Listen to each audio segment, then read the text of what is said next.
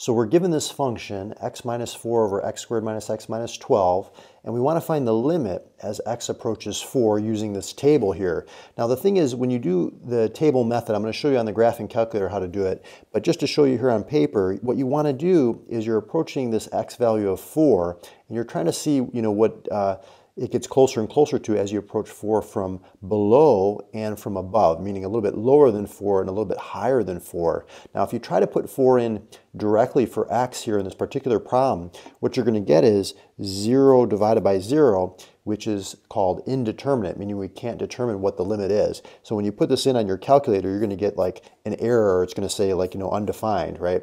But the numbers that we want to pick here on either side, we're going to want to pick a number that's uh, slightly smaller here by, let's say, like a, a thousandth. So this would be like 3999. And then this one here is going to be slightly more, like 4.001. So we're going larger by a thousandth and then smaller by a thousandth, then larger by a hundredth, smaller by a hundredth, and then larger by a tenth, smaller by a tenth. But as far as the graphing calculator is concerned, what you want to do is you want to go over here. Let me zoom in. What we want to do is we want to go to y equals here.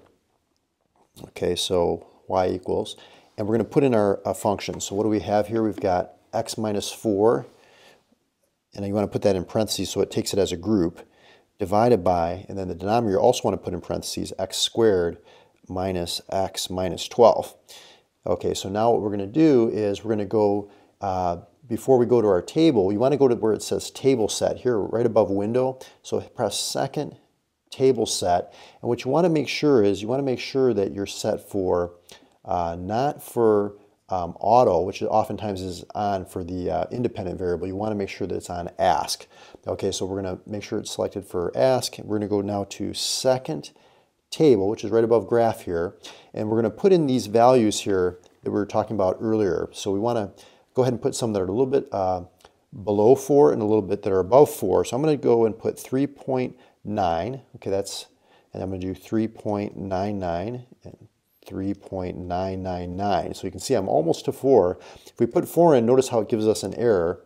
And then if we put in uh, slightly larger than 4 by a thousandth, 4.001, slightly larger by a hundredth, that's 4.01, and then slightly larger by a tenth, 4.1. What you want to do here is you want to, uh, again, make sure that when you're approaching uh, 4 from below, meaning lower, and from above, higher, that they're approaching the same number. And you can see it's getting closer and closer to like 0.1428, right? Okay, and so that's going to be your limit, 0.143. I'm just going to round approximately.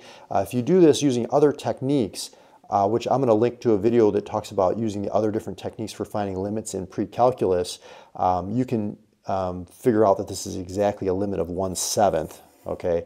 But I'll show you, uh, I'll see you over in that other video and we'll talk more about limits there.